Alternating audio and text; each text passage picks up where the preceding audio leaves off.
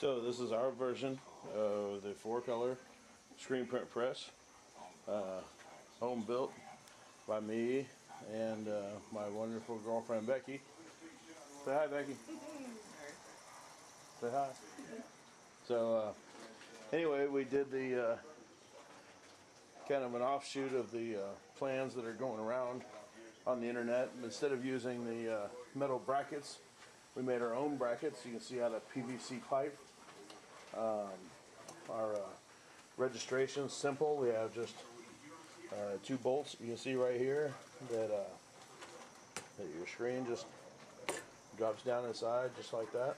And uh, still a work in progress. We still need to figure out how to make the screen stay up other than just with uh, friction on the, the clamps and then as you can see we have two more uh, arms to put on but we got it finished and we were uh, so excited that that we want oops just stepped on the cat. He's not happy about that right now. But uh, so you can see uh, this kind of stays up a little bit on its own and uh, got a nice size platen and uh, it's uh, it's pretty sturdy. Uh, this is basically a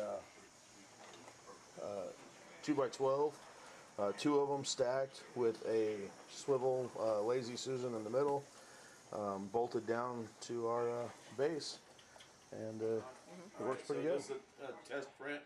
You see, I got shirt loaded on the, the platen here. I'm going to uh, do a little float. And, and uh,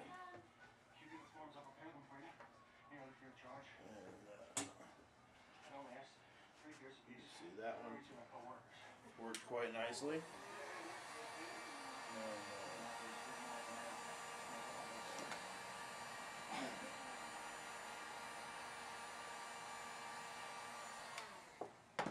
I know we're probably doing this wrong, but we're still learning. And uh, so with this screen,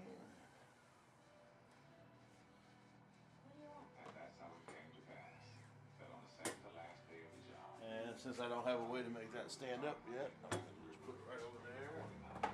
We're going to do this one a little, uh, little blast of heat with the old heat gun, and. Uh,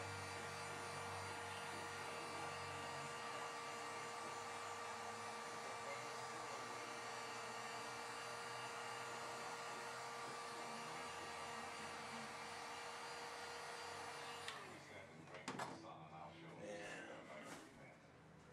There go. There you have it. Two of our four color presses uh, working wonderfully. Loving it. And uh, we'll post another video update once we get it completed. We're out. Make it